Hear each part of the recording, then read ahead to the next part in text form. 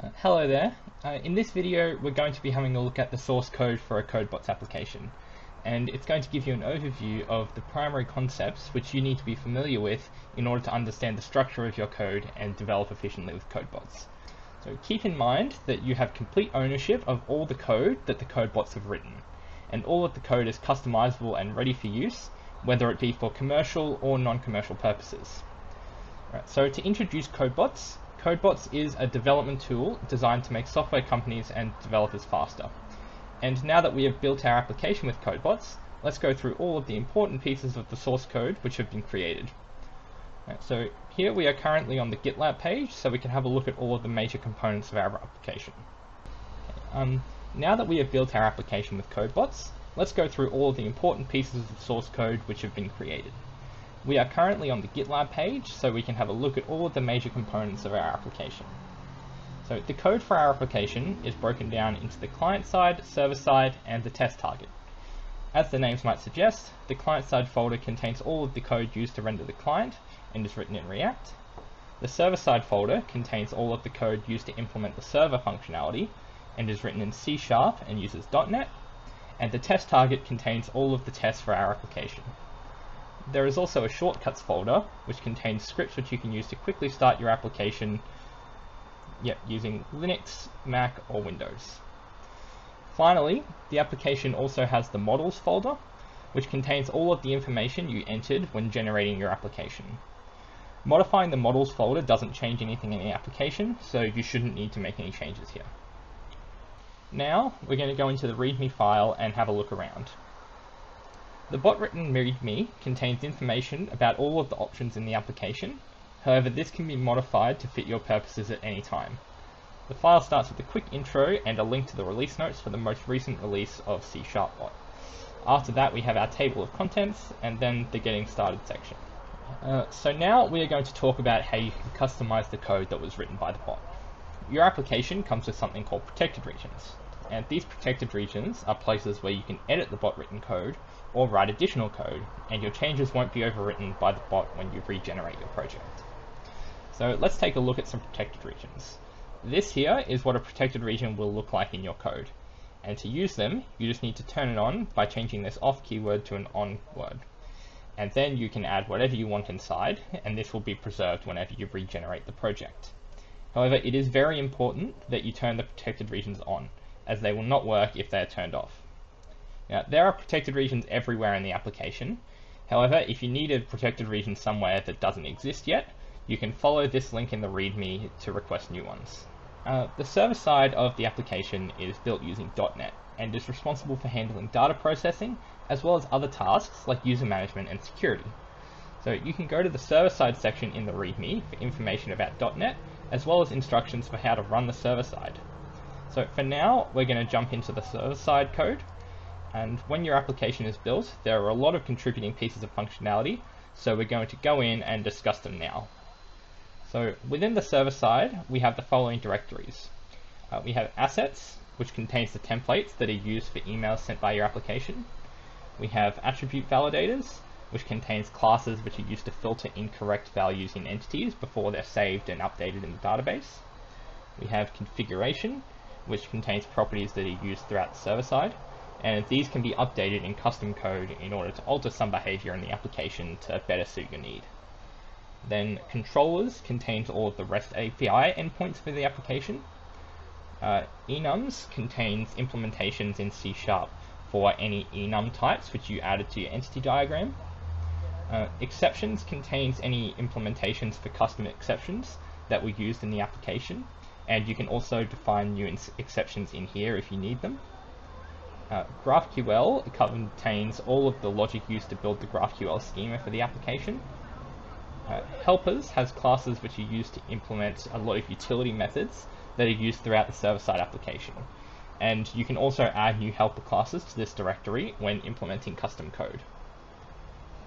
Uh, migrations contains C-sharp implementations of any database migrations which might be required. Now, these migrations are automatically generated through .NET, so you shouldn't need to make any changes to this directory while implementing custom code. Uh, models contain C-sharp classes which represent the entities that you've added to your application. Each entity has a class for the entity itself, as well as some configuration options, a database transfer class, and the type class which is used for returning data from in GraphQL queries. Um, security, which defines the rules for which users can perform specific operations on different entity types. Uh, services contains classes that are used to perform important functions for the application, such as interacting with the database, and can be used in many places throughout the application code. And then we have utility, which serves a similar purpose to the helpers directory, as it contains helper methods which are used frequently in different areas of the application. Uh, we'll be going into more depth on some of these directories soon, but hopefully this will help you get started and orient yourself while working with the server side. First up is your application's GraphQL classes. In this directory, schema.cs defines queries, which are used for accessing information, and mutations, which are used for modifying information. The other classes in this folder are all used to define the mutations and resolvers. As you can see here in the schema file, we create a query field and a mutation field for each entity in the application. There is also a method for both query and mutation which defines the functions that exist as part of the schema. For example, in the query, we have functions for fetching the entity and for counting the entities, while in the mutation, we have methods for creating, updating, and deleting entities. These elements of the GraphQL schema are used in the data tables in the client side so that they can interact with the database to fetch, create, update, and delete entities. The code for creating queries and mutations in the client side can be found here in the entity utils in the util directory. These methods take inputs for the necessary information for the queries, and then transform that information into GraphQL queries, which can then be sent to the server. Okay. Next up is the REST API endpoints. All of the REST endpoints can be found in the controllers directory in the server-side code. And the endpoints are split into different classes based on the functionality they offer or based on entity. As you can see here in this file, each entity has a lot of endpoints which can be used to access or manipulate the data. These include endpoints for fetching entities based on the ID, or for creating entities as an example. However, there are many more which are created for this entity.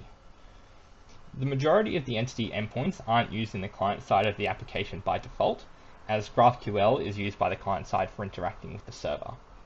However, endpoints can be called from the client side using Axios, which is discussed more in the README, and can be used to make the data in your application available to other external users and applications. When you built your application on CodeBots, you would have defined security rules which stated which user entities were able to perform actions on any specific entity. The security directory in the server side contains code which ensures that those security rules are enforced. Similar ACL classes are generated on the client side and can be found here in the models folder. These ACL classes work very similarly to the ACLs in the server side. However, these ACLs are mostly used for determining access to routes within the client side. Permission for data database access is determined solely based on the server-side ACLs. Uh, similar ACL classes are generated on the client side and can be found here in the models directory. These ACL classes work very similarly to the ACLs in the server side. However, these ACLs are primarily used for determining access to routes within the client side. Permission for database access is determined solely based on the server-side ACLs. The client side for your application is built using React, and is responsible for displaying information to the users and interacting with the server in order to fetch or update information. Uh, within the client side, we have the models, which are React classes for the entities you added to your application. Uh, services, which by default only contains the security service that is responsible for client-side security logic uh, util, which contains classes that implement a lot of helper methods that are used throughout the client side. And validators, which contains implementations for validators used to filter bad inputs before they are sent to the client side. Uh, then we have tests, which contains the client-side testing framework. And the testing framework is written using Jest and in Enzyme. And more information on these tools can be found in the testing technology list, which is linked in the unit test section of the README. Then we have SCSS, which contains all of the styles for your application. And as you can see in here, the styles are split into front-end and admin, so you can style the front end and the admin sections differently. Okay, and then finally, all of the code which is used for displaying information to the user is found here in the views directory.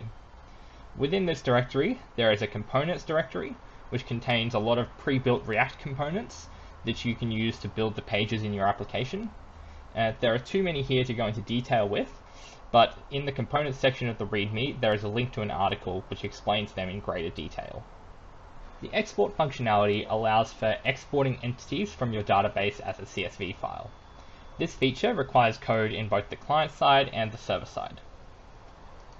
The server-side code for exporting can be found here in the controllers, as each entity has a couple of API endpoints which are used for exporting entities based on conditions that are passed in.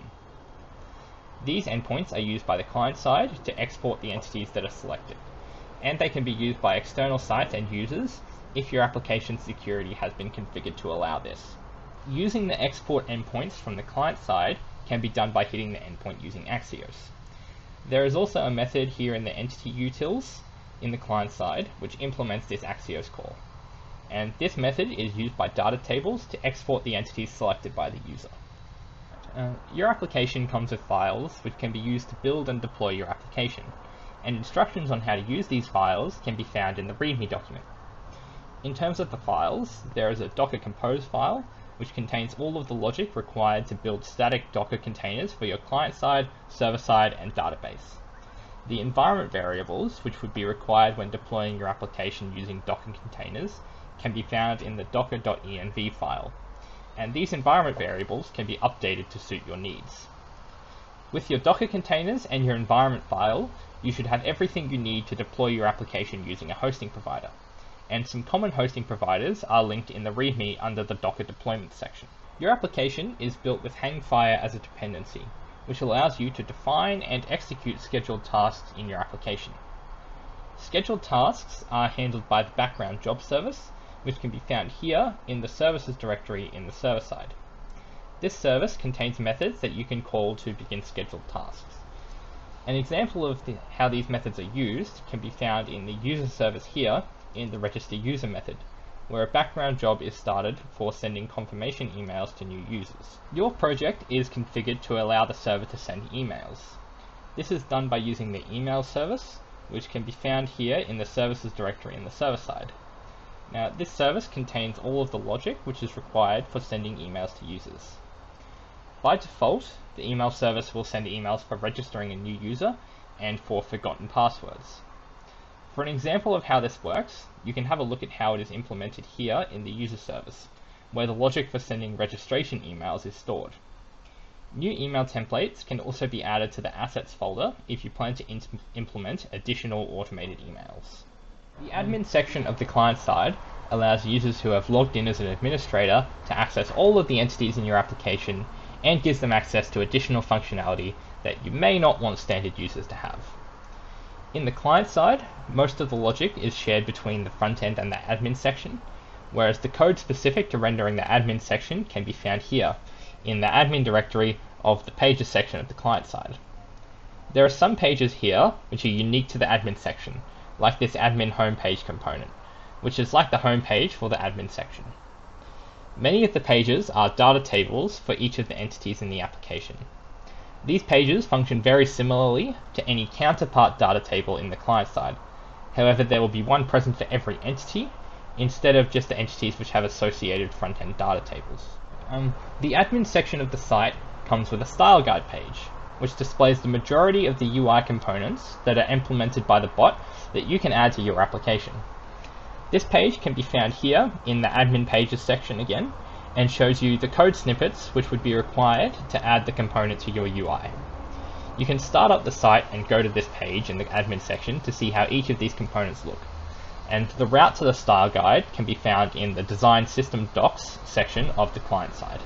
Your application contains functionality for registering new users. This involves the registration form in the client side, which allows visitors to register an account when accessing the site for the first time, and the API endpoints for registering the different user types in the application. The registration controller contains endpoints to register any of the user types that you added to the application and can be found here in the controllers directory in the server side. Each endpoint has an annotation which is based on whether the user type can be created by visitors. So if the user can be created by visitors, then it will have an allow anonymous tag. And each of these endpoints will call the registration method, which then creates a user. In the client side, the registration logic is handled here in the registration page, which can be found in the pages directory of the views folder. Users can only be registered using the registration page if you have configured visitors to have create privilege for that user entity type. And the list of those user types can be found here in the registerable entities array. The registration page starts with a drop down to choose what type of user to register and then transitions to a traditional form once the selection has been made. Your application comes with endpoints and client-side functionality for authenticating users who have previously been registered. Uh, the authorization controller, which is in the controllers directory of the server side, contains API endpoints for logging into the application and for logging out of the application. Whereas the client side contains a login class, which can be found here in the pages section of the client side and this page contains the DOM structure for login and handles the logic for sending the request to the server side. And once that request has been completed and the login is successful, the login page also handles redirecting the authenticated user to the home page. The styling for your application is handled in the SCSS directory in the client side, and part of the styling is the theme of the application. Now, the theme of the application is generally defined by the color primary and color secondary variables, which are defined in this colors.scss file, which can be found in the abstracts directory of the front-end styles. All of the colors in the SCSS library are dependent on the colors in this file. So changing these colors allows you to change the colors across the entire application. And again, these styles are broken up into front-end and admin styles, so you can style the front end and the admin section differently depending on your requirements. And the README also contains more information and articles that you can use to get started customizing the look of your application. The file storage provider Amazon S3 is integrated into your application. Information on how to use S3 in the application can be found in the Amazon S3 section of the README. Now, as there are multiple potential file storage options which could be utilized in the application, there is a storage provider configuration class, which is located here in the configuration folder of the server side. As different storage providers would require different code, this class allows you to define which provider is in use and define additional providers which can be used in the application by adding a field to this enum here. The implementation of file storage systems, including Amazon S3, can be found here in the file providers directory in the services folder. These classes all implement the upload storage provider interface and all have all of the methods required for the file provider to function properly. And you can also use a different storage provider by creating a new implementation for the storage provider interface and adding it to this directory and to the configuration class that we discussed earlier. The Swagger interface is a tool which allows you to examine the API endpoint structure of your application and to test API requests during development and it will be present when your application is running in development mode. Swagger does not require any actual code in the application, as it is added as a dependency to the server side. So for more information on how to access and use Swagger, you can examine the Swagger section of the README. Graphiql is a development tool which lets you build and test GraphQL queries and mutations, and see how they will interact with your data. In the application, Graphiql can be accessed through the home screen of the admin section, or through the menu in the sidebar. Now, the Graphiql page does not contain much logic, as the functionality is provided by the Graphiql dependency, but it requires some base logic which can be found here in the admin pages section. Your application has been built with a comprehensive testing framework that will help you ensure that any changes you make to the application do not break any existing bot-written functionality. The majority of the testing framework can be found here in the test target directory and instructions on how to run each of the different types of tests can be found in the README for each respective piece of the testing framework. The API tests for your application can be found in the test target under the API directory. As the name suggests, these tests will examine the API endpoints of your application. Uh, within this directory, the actual tests are contained here in the tests folder. However, the API testing framework also contains a lot of additional classes which are used to implement the tests in this directory. The next part of the testing framework that we're going to talk about is unit tests. Now, the unit testing framework is split into the client-side and server-side unit tests. The client-side unit testing framework is built using Jest and Enzyme, which are discussed in the C Sharp bot technology list that is linked in the unit testing section of the README. Now, these client-side tests all ensure that the individual components of the client side are functioning as intended, and can be found here in the test directory of the client side. The server-side component of the unit testing framework is located here in the test target, under the server-side directory, and contains unit tests for functionality in the application server-side. Now, part of the server-side tests is these mocking managers, which will let you mock specific actions for methods so that you can test the outcomes without having to follow the same sequence of events that would have to occur in standard use of the server. These Selenium tests can be found here in the test folder. Now, the tests take the form of feature files, which describe the actions which are being taken for each stage of the test. Each of the sentences in the feature file is linked with a step definition, which can be found in one of the classes here in the steps directory. The step definitions execute code for the steps to interact with the site. Now, in order to simplify interactions with the site, the bot writes page objects models. These models can be found here in the page object directory, and they implement functions to interact with each of the UI elements on the page. So for example, in this CRUD entity page object contains elements for each of the buttons on the page, and these elements can be used to simulate clicking that button. Okay, that is pretty much it. So that is CodeBots.